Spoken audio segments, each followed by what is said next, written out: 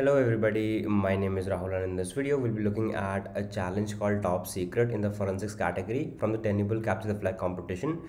Now it's got quite a good number of solves but anyway we'll be looking at it. So it says that we found some leaked classified documents. Can you figure out what the censored project name is? Now I've already downloaded it. So what I'll be doing here is I'll be moving it from my downloads directory to my present directory and if I type in open you will see here that it says top secret and the flag is hidden here. So I cannot view it. As you can see this is the flag. So what can I do here right here? So there are a couple of things that you can do in case the flag is being overlaid by some color or any other layer.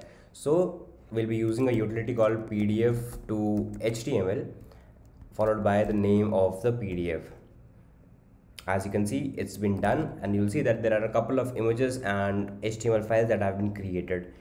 On the other flip side you can also drive pdf to text. But in this case it did not work so i won't be wasting much of your time to showcase it.